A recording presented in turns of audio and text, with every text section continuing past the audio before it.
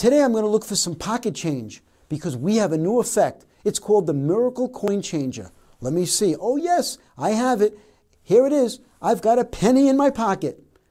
Take a zoom in and take a look at this magic miracle at your fingertips.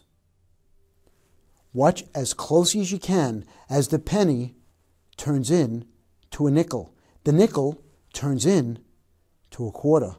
And now the quarter vanishes and turns into a poker chip. The beautiful part is at the end when you reveal the poker chip and you take the poker chip and put in your pocket, you are clean. So you're able to perform other tricks right after. And thanks for watching Ronjo